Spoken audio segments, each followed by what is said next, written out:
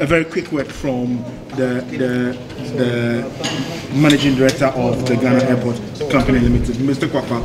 Uh, you, you have been conducting us round. You've told us that yes, you've been very satisfied with the work that McDan has done, at least physical structures wise, and then the installation of things. We're just getting to know that your appointment as managing director has been terminated by the Minister of Transport.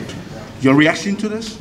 I, I don't know what you're talking about. Uh, my appointment has not been terminated. So if you have uh, French if you please uh, give it to me. Will you be surprised if that's the case? Will you be surprised if that's the case, though?